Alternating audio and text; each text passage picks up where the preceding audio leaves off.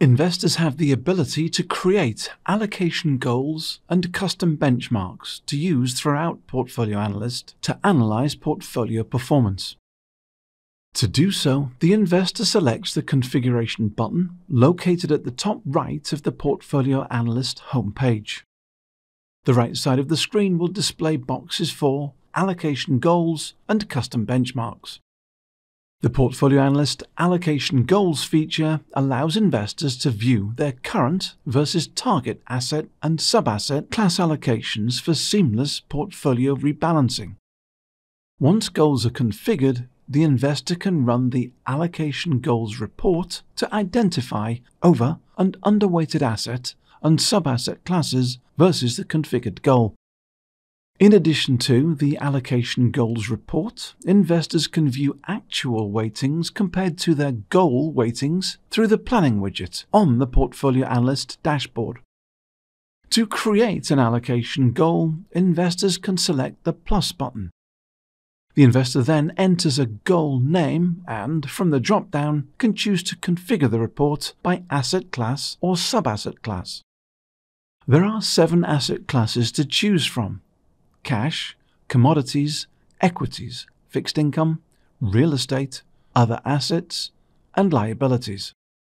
Sub-asset classes will be broken down by the seven asset classes with the option to fill in a total of 33 subcategories.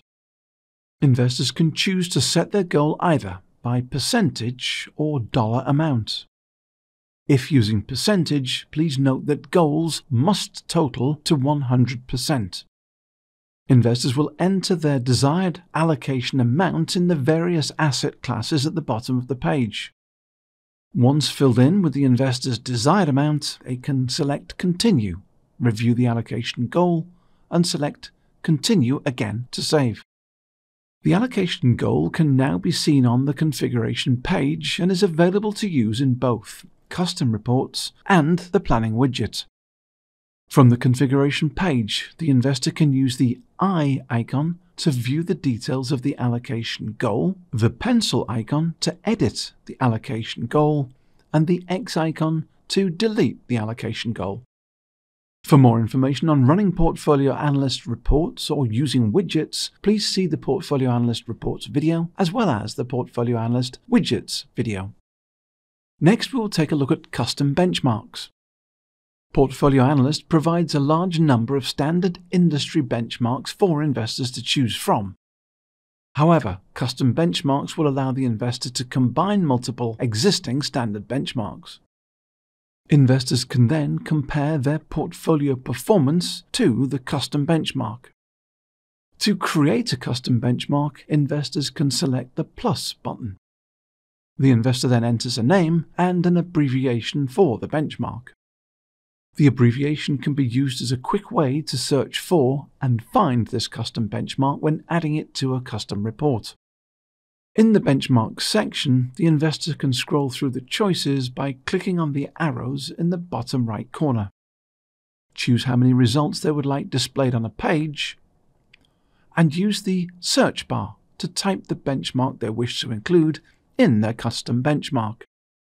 For example, to search for funds and ETFs related to the S&P 500 index, the investor can type S&P 500 into the search bar and a list of benchmarks containing those characters will appear. Investors can select the checkbox next to any benchmarks they wish to add and enter the weightings of each benchmark added.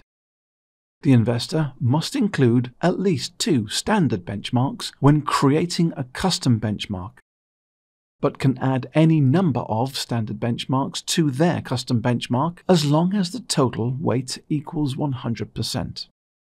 In this example, the investor has added the S&P 500 as well as the Russell 2000 index and would like both to be of equal weight, so they type 50 for each benchmark to make sure the total adds up to 100%.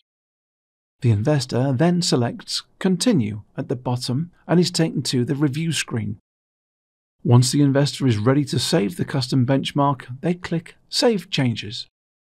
The custom benchmark can now be seen on the configuration page and is available for use in custom reports.